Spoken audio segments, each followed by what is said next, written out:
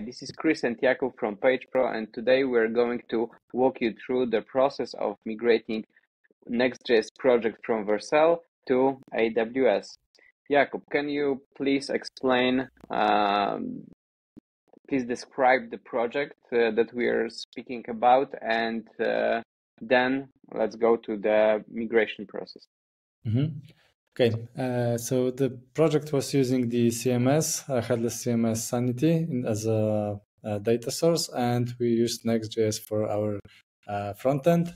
Uh, we use Vercel to host our application, and with the time, uh, we've um, added some features that were hosted on AWS, like Cognito, like uh, email sending, and some other tools.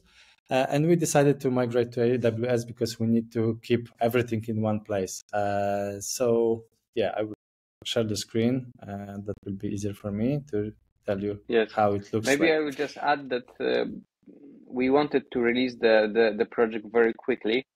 Uh, so we agreed with the client that the first version will go to Vercel, but then client wanted to in the maintenance phase move up, move it to AWS because he hosts everything in uh, AWS uh, infrastructure. So that was the main reason of uh, migrating.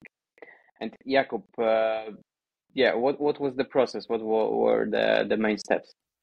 Uh, yeah, so the first step was to decide uh, either we need to go with serverless or containers, uh, and we decided to go serverless because client doesn't have so much traffic and he doesn't rely on uh, resources on computations, and we're fine with servers serverless limits.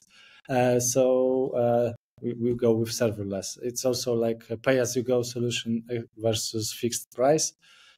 so we are similar to what Vercel provides us. The next step was to migrate something to AWS. We decided to use uh, SST uh, as our tool. Uh, it's an infrastructure as a code tool that lets you write your infrastructure in a code and then uh, creates all of the services on the AWS thanks to some um, permissions. So uh, yeah, we use that, and also uh, we started with bare minimum. So we've just created a Next.js application that was uh, without any extra functionalities uh, like uh, image optimizations, like uh, any connections to database, etc.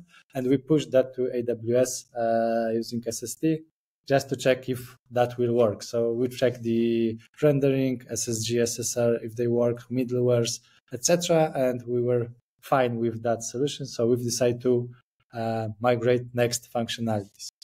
Uh, one of them was Redis because we've used uh, some functionality that was gathering some informations and based on that informations uh, we had a cron in the background that was uh, checking that info and sent some emails uh, like three days before something so we've created this redis service in sst we configured that we've pushed that to AWS, uh, it almost worked out of the box. We just had one issue because we've misread the documentation, but in general, it was very easy step. The next one was with cron jobs. As I mentioned, we had a cron job that was uh, checking the data from Redis and uh, let's say send an email. Uh, so we need to add the cron job. There is also a service like that in SST configuration. So we use that. We've set that up. Uh, and yeah, it was almost problemless. so yeah, except the ones that we have with misreading the documentation, something like that, we didn't have any issues. So we have like uh, two basic Next.js functionality now and some uh, extra functionality added. Next step was uh, image optimization. Luckily for us, we are using Sanity, and Sanity has its own image optimization. So we just need to add a loader to next images. So we transferred our optimization from Next.js to Sanity. If we didn't have that, we need to write our custom Lambda that will do the optimizations for us, or we need to get rid of them. The next step was to create some automations because we were doing that manually. Uh, so we've used uh, GitHub Actions that were just creating the SST build, uh, and it was creating everything in the AWS in the background. Uh, but we've creating the CI/CD, we've uh, already find out that we are missing the environment variables configurations. Uh, we've used GitHub secrets to keep all of them here. Uh, in the future, probably we will migrate that to AWS. Uh, there is a service for that. I can't remember the name, but where you can keep your environment variables. So we will have every almost everything there. The next feature that we were considering was the edge network. Uh, and again, luckily for us, uh, we were not rely on that uh, because most of our traffic was in the UK. So uh, we just created all of our infrastructure in the UK locate localization, and it was fine for our results.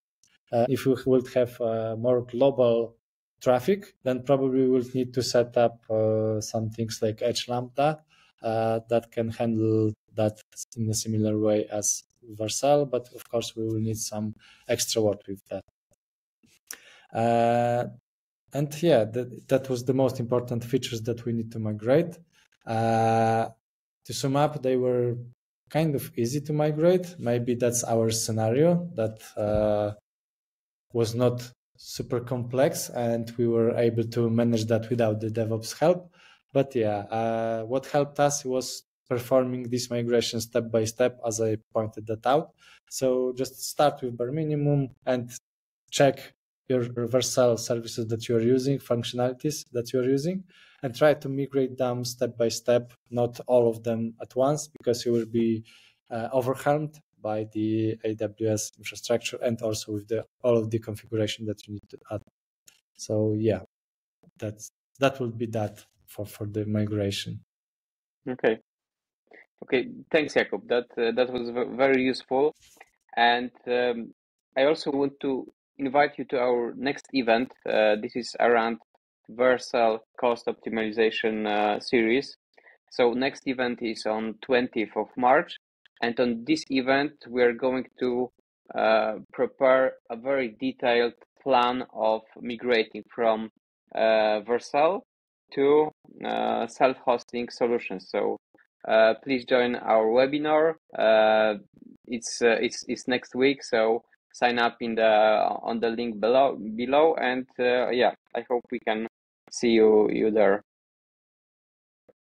Jakub, do you have any anything uh, to add on the end and uh, yeah maybe you can tell uh, our watchers why they should uh, attend yeah uh, first of all it's not only to migrating from vercel if you are not set up yet at all, you can also have some benefits from uh, joining us. Uh, you will see how and what are the possibilities, how to like start uh, your migration or your deployment process, and uh, yeah, what tools you will need or step by step guide how to do that. I think it it will be very helpful for you.